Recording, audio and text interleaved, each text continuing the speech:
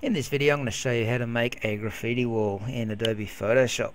We're going to simply get a picture of Snoop and blend him in with the brick wall here and we're also going to put a bit of our own graffiti text on top of the wall as well.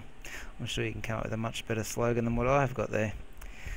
We will begin today in Photoshop by opening up the picture of Snoop and the picture of the brick wall. And on the Snoop picture what we need to do first of all is just select Snoop so we can cut him out of this picture. Quick way to do it is with the quick selection tool. Just press W for the keyboard shortcut or go and grab it from your toolbox now. And just start clicking and dragging over the top of Snoop. You want to get the chair in the background as well, so don't be afraid to grab that.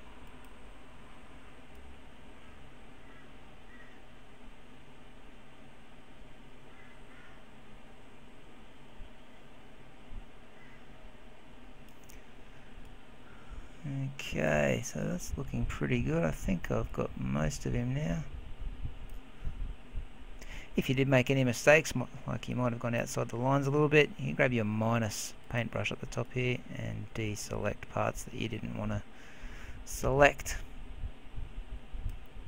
Okay, so once you've got it looking pretty good, it's just a matter of going up to Edit and Copy, going over to your brick wall, and going edit paste and you'll see that it pastes in on a new layer called layer 1 I might rename that to Snoop. Now he's quite small so what you need to do is grab your move tool from your toolbox ensure that you've got show transform controls up the top selected and hold down shift to resize him. You want to put him in the bottom left of the page here. So pretty much level with the footpath and make him a reasonable size on the left. As you resize he will become pixelated but what you can do is click the tick at the top just to apply that transformation and his overall quality comes out pretty nicely. So the first thing we want to do to Snoop is change the levels a little bit just to brighten this picture up. So we're going to go up to Image, Adjustments and Levels or you can just press Control L for the keyboard shortcut. What you want to do is move the middle lever up a little bit and move this end lever on the right up a bit as well just to bring out a bit more brightness in the picture of Snoop. When you're happy with how bright it is click on OK. And the next thing I want you to do is pop on over to the blend mode for this layer. And I want you to choose multiply. It's starting to blend him in with the background. At the moment he doesn't look like he's been painted on. So to do that we go up to our image menu select adjustments and choose the threshold filter and you start to see it looks a bit more like he's been painted on now and you can adjust this lever to work out how much white you want to show or how much black you want to show. Now you still want to make out that it's him so you want to show a bit of white. Somewhere near the 100 mark I think it's going to look good maybe a little bit over. Click OK when you're done. Now last thing I need to do to Snoop is just change the opacity just drop it down to about 80 85% just so it shows a bit of the brick wall beneath it and it looks like it's been painted on. Might even go to 90%. Okay, so that's looking pretty good so far. The next thing we want to do is get the text tool and put some text in.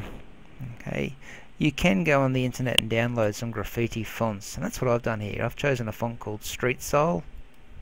When I click on the page, it will start to come out looking like graffiti.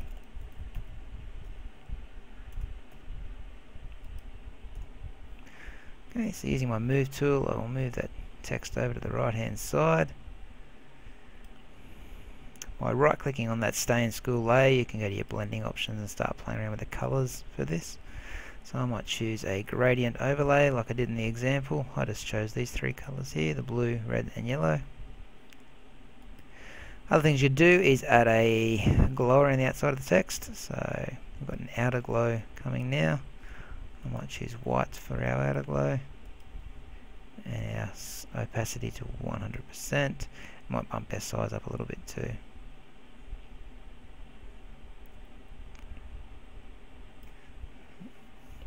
Okay that looks pretty good.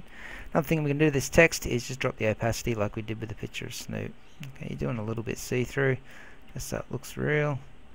Around that 80 to 90% mark looks good so that's basically it for a graffiti wall. If you wanted to, you could grab a rubber or the eraser tool and just rub out any parts of Snoop that you aren't quite happy with. but I'm actually pretty happy with that so I'm just going to leave it as is when you're finished go to the file menu save for web and make sure you choose JPEG at high or very high quality I'd probably just go high quality for this one and that's all we have to do to make graffiti wall